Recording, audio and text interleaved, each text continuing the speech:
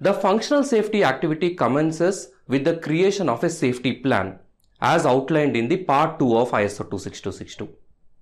Part 3 of ISO 26262 consists of three key activities. Firstly, the item need to be defined. Following that, hazard analysis and risk assessment HARA is performed to determine the ASIL levels. For each hazardous event assessed in HARA, a safety goal is established. Safety goal represents the top level safety requirements for the item leading to a functional safety concept called FSC. The ASIL determined for a hazardous event is assigned to its corresponding safety goal. Similar safety goals can be combined if they have the same ASIL level. In case where similar safety goals have different ASIL levels, the highest ASIL level is assigned. A safety goal must be determined for all ASIL levels A, B, C and D. But it is not necessary for ASIL levels QM and none.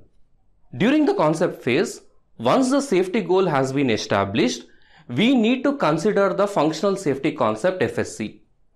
The combination of safety requirements, safety architecture and outcomes of safety analysis, these three together form the safety concept. Part 3 of ISO 26262 emphasizes the safety concept at functional level, while Part 4 focuses on the technical level.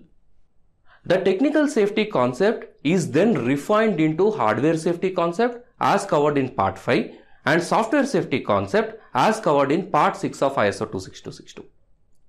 Functional safety is not a new concept in the industry. It has been in existence long before the introduction of the ISO 26262 standard. Let's explore the functional safety approach from the perspective of a V model. The blue color represents the traditional V model process, which is addressed by the concept phase covering the entire development process from part 3 to part 7 of ISO 26262. The red color signifies additional activities such as HARA, safety concepts, safety analysis and many more.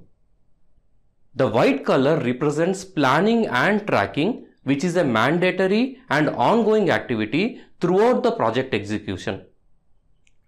This activity demonstrates safety compliance and ensures traceability by the end of the project.